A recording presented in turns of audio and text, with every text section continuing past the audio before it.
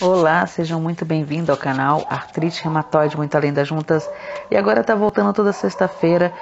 Vou contar aqui um desabafo de uma portadora de doença autoimune, seja ela artrite, seja ela qualquer outro tipo de doença reumática ou qualquer outra que queira desabafar aqui no canal.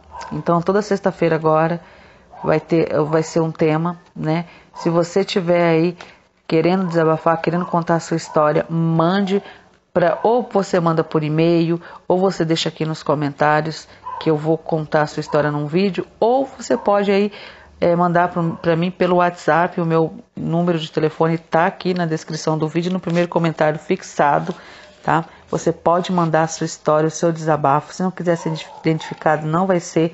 Então, toda sexta-feira agora, eu vou estar tá contando aqui um desabafo, uma história de uma pessoa que está lutando aí para poder superar as dores das doenças reumáticas, enfim, qualquer uma relacionada. Então vamos para a primeira delas.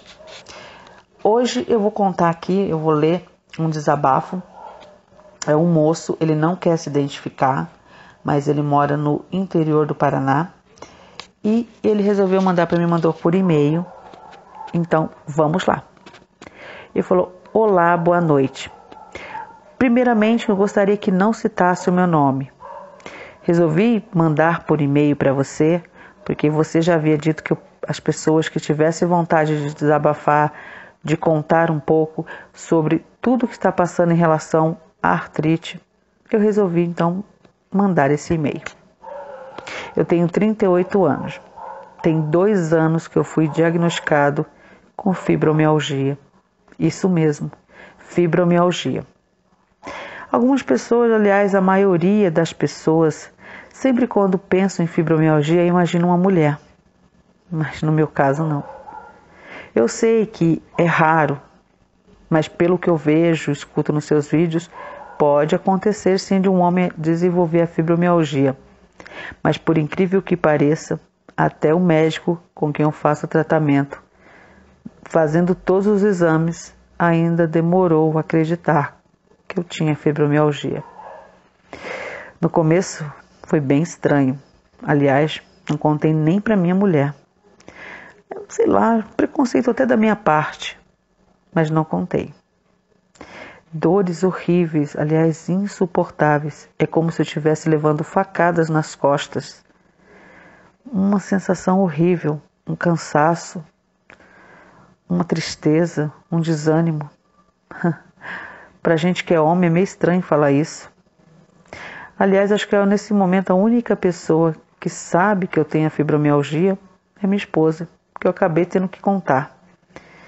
Por incrível que pareça, ela me apoia, ela me dá amparo. Imagina se eu contasse isso para os meus colegas de trabalho. Aliás, em falando em trabalho, eu tive que pedir licença do meu trabalho. Pedi para o pessoal do departamento pessoal não entrar em detalhes com ninguém em relação ao meu afastamento, porque é uma coisa meio chata, meio constrangedora.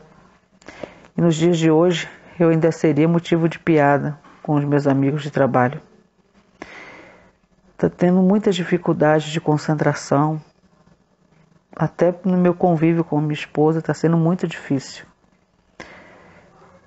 Eu achei, eu achei o seu canal através das pesquisas no YouTube e vi que é um canal que a gente pode ser respeitado de uma certa forma por alguém que passa pelo que a gente passa. Eu sei que você não tem fibromialgia, mas você dá força para todos. Desculpa ter desabafado assim, mas que estava muito, muito intenso dentro do meu peito. Como eu já havia dito, minha esposa é a única que sabe. Nenhum dos meus filhos sabe, eu tenho três filhos. Dois já são maiores de idade e tenho um de 15 anos. São três filhos que eu tenho, três homens. Imagina só, o pai deles com fibromialgia. Esses jovens de hoje não entendem nada dessas coisas. Aliás, até eu não estou entendendo ainda. É, é, meio estranho, meio confuso. Como que eu adquiri a fibromialgia? O porquê? Hormonal? Emocional? Hormonal? Homem? Sei lá, ainda é muito confuso. Queria opiniões dos meus colegas, minhas colegas do canal aí, puder dar opinião, eu ficaria muito grata. Você sempre fala que através dos comentários a gente tira as dúvidas. Tirei muitas dúvidas assim. Me inscrevi e faço parte também do grupo do WhatsApp, mas ainda não me não resolvi aparecer.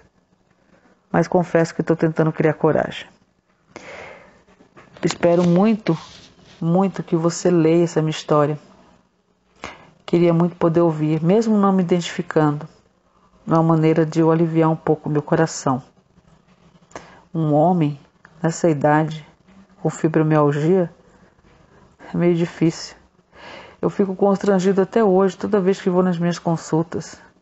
Minha mulher me acompanha. A impressão que dá é que eu que estou acompanhando ela.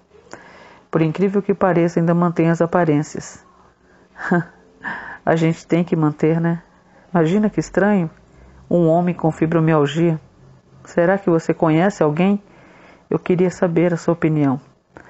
Um grande abraço, fiquem com Deus, que Deus abençoe. E mais uma vez agradeço muito o espaço. Obrigado. Bom, gente, esse aí é mais um, um, um desabafo de um rapaz de 38 anos.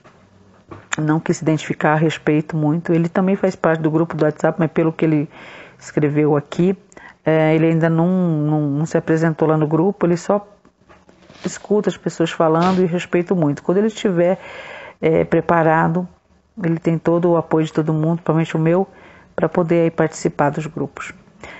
Bom, é isso, gente. Então, toda sexta-feira, vou estar aqui contando um desabafo. Se você tiver, manda para o meu número do WhatsApp, vai estar aqui. Fica à vontade, eu sei que é bem mais fácil, tá? É, deixa sua opinião sobre isso. É, tem todo o meu apoio, lógico, é raro, mas existe sim casos de, de homens que têm fibromialgia assim. E infelizmente tem muito preconceito, muito.